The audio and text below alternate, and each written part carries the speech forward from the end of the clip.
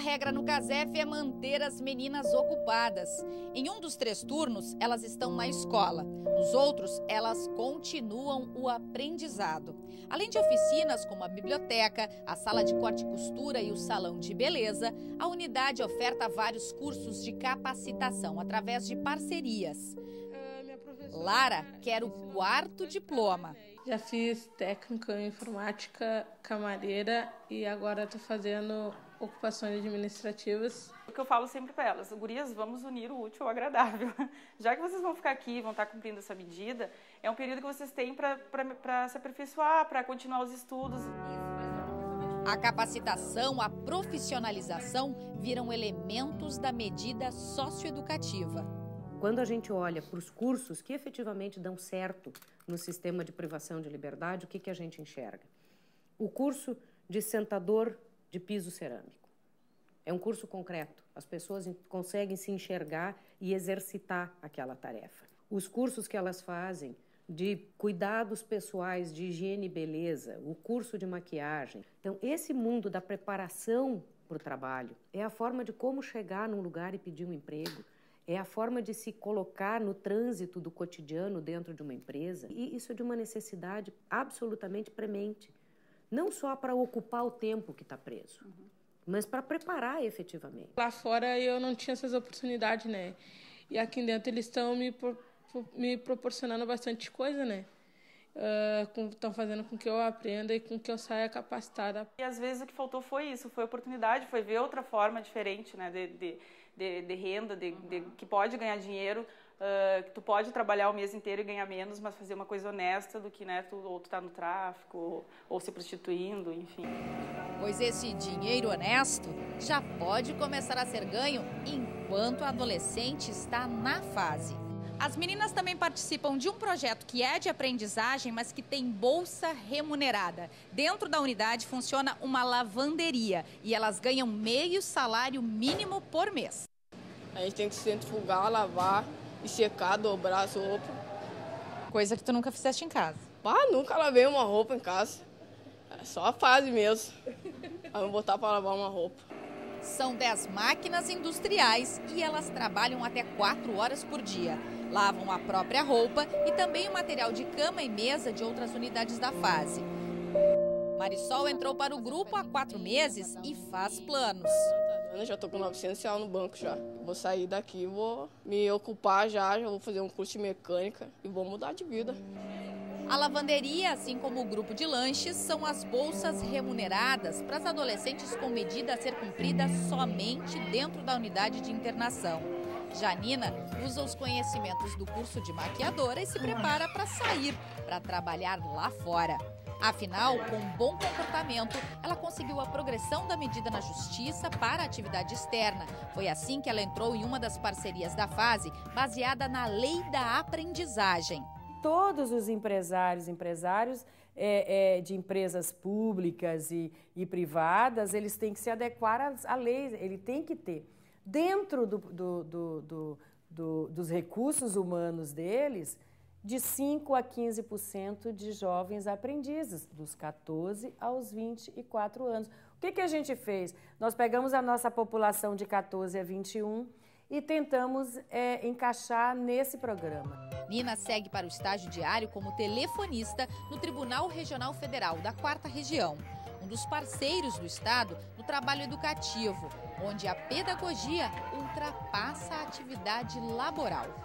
Nós trabalhamos com eles uh, relações interpessoais, as atitudes, habilidades, é, a convivência com colegas, a preparação para as entrevistas fora. Nós iniciamos com as estatais, com o Banrisul, com a CE, com a Corsã.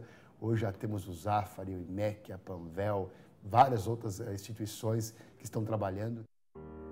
A história de Nina ganhou outra dimensão quando ela chegou na fase e teve uma grande surpresa. Ela chegou grávida de um mês e o bebê agora já completou oito. Em quase um ano e meio, ela fez o pré-natal e o parto, mas também o tratamento para largar as drogas e pôde repensar tudo o que viveu lá fora. Eu não parava em casa porque minha mãe, né, bebia. Eu ia pra rua para não ficar brigando com ela. E na rua eu tinha amizades, e essas amizades faziam festa, usavam droga, eu ia junto. entendeu? E ali eu conheci o tráfico, o tráfico me dava muito dinheiro. Em várias audiências, nós chegamos com adolescentes que ganham aí 1.500, 2.000 reais por semana, vinculado ao tráfico. E aí fica difícil, e ele não vai se qualificar lá fora. Então, o momento que se permite que ele se profissionalize é dentro do sistema. Desde 2004, Gilmar recebeu vários estagiários da fase no seu setor no tribunal.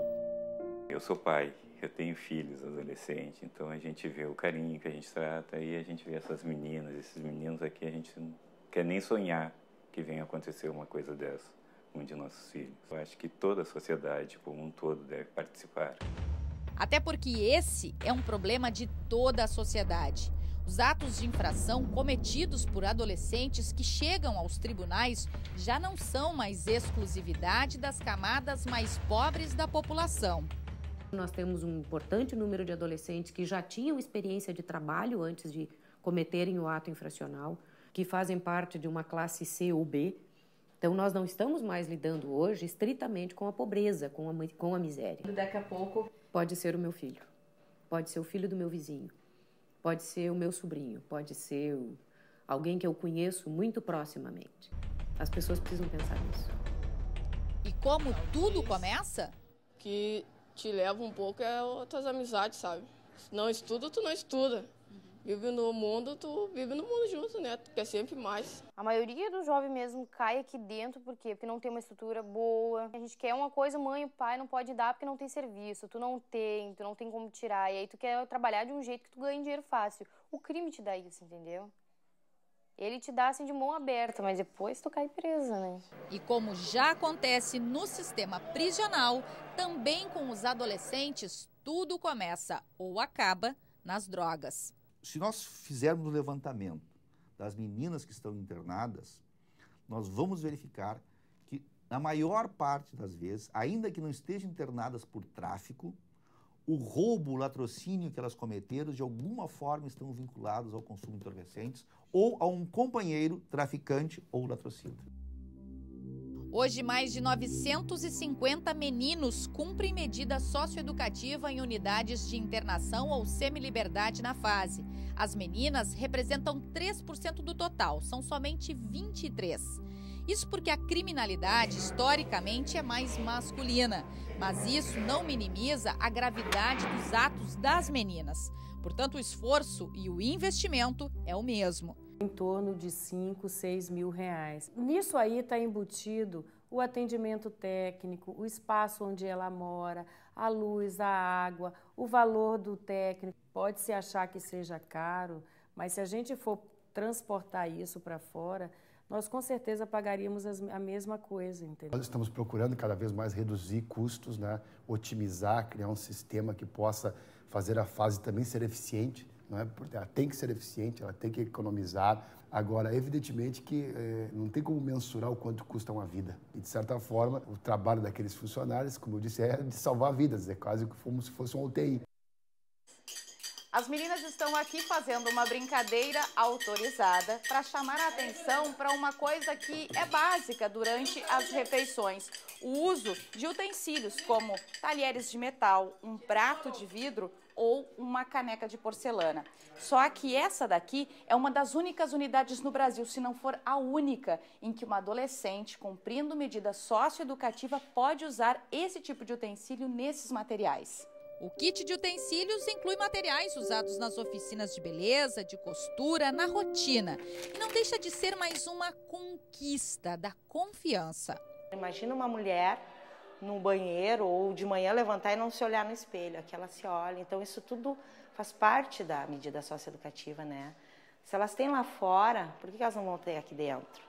Isso é considerado material de risco, né? Porque podem quebrar, podem fazer algum mal para o socioeducador ou para elas mesmas, para outra adolescente. Mas aqui é trabalhado isso. É muito raro assim a situação que a gente tem que tirar o material de risco, porque elas já aprenderam que é uh, o melhor. Questão de dignidade, de direitos mesmo. Então, eu uh, penso que o CASEF faz um trabalho no sentido de educativo, né? E na questão de fortalecimento do sujeito, no sentido desse sujeito poder uh, dar conta de atender as responsabilidades que ele também tem, né? De cuidado com esse material. Respeito e confiança. No CASEF, as reuniões são semanais no grupo operativo. Ali se discute de tudo, da rotina da casa às angústias pessoais. Mas no processo de autocrítica sobre o ato infracional e a medida socioeducativa, aqui não se fala diretamente sobre o que aconteceu lá fora. Tu não precisa de, diretamente saber se foi um tráfico, se foi um homicídio, se foi um latrocínio. Tu tem que saber o que padrão de comportamento tu tinha que tu vai ter que modificar, ou que tu vai ter que pelo menos repensar e frear.